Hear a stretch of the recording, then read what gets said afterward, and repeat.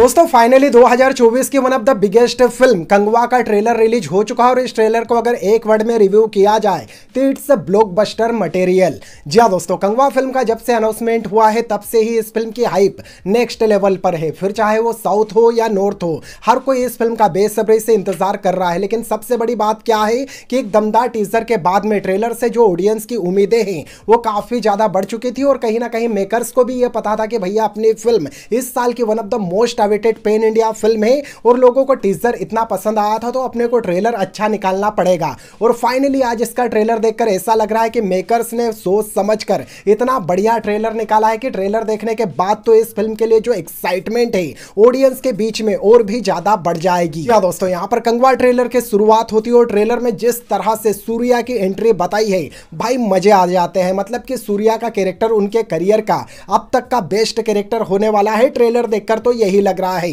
साथ ही साथ दोस्तों, यहाँ पर लॉर्ड बॉबी देवल एक बार फिर से विलन के रोल में नज़र आने वाले हैं और यहाँ पर लॉर्ड बॉबी देवल का जो लुक है, जिस तरह का उन्हें गेटअप दिया है, फाड़ दिया भाई। बॉबी देओल एनिमल के बाद एक बार फिर से ऑडियंस का दिल जीतने वाले हैं। हालाँकि यहाँ पर स्क्रीन पर बॉबी देओल और सूर्या के बीच की जो केमिस्ट्री है या यूँ कहे जो फेसों पे, वो ट्रेलर में ही इतना कमाल का लग रहा है तो फ़िल्म में कितना मज़ा आएगा, ये आप सोच सकते हो। वही दोस्तों ट्रेलर के जो विजुअल है, वो इतने ग्रेंड देखने में लग रहे हैं कि लगता है कि जब छोटे मोबाइल पर हम इस ट्रेलर को देख रहे हैं और विजुअल इतने शानदार नज़र आ रहे हैं तो इस फ़िल्म को जब बड़े पर्दे पर देखेंगे तो ये विजुअल पूरी तरह से हॉलीवुड की फील देने वाले हैं। तो यहाँ पर बैकग्राउंड म्यूज़िक से लगाकर विजुअल हर कुछ ट्रेलर में काफ़ी दमदार लग रहा है और जिससे देखकर एक बात तो पता चल जाती है कि भैया इंडिया में कोई अच्छा कंटेंट सही से इस साल निकाल रहा तो वह है साउथ सिनेमा मतलब कि इस साल ऑलरेडी कल्कि जैसी एक ओल्ड टाइम ब्लॉकबस्टर साउथ ने दी है और ऐसा लगता है कि कल्कि के बाद कंगवा वो फ़िल्म है जो कि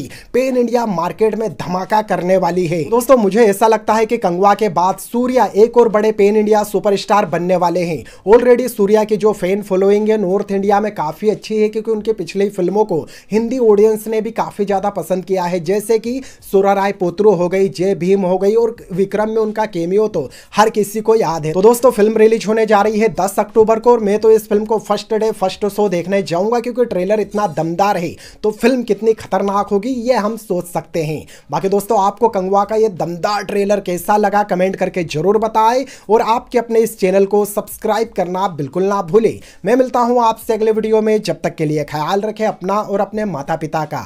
जय हिंद, वंदे मातरम।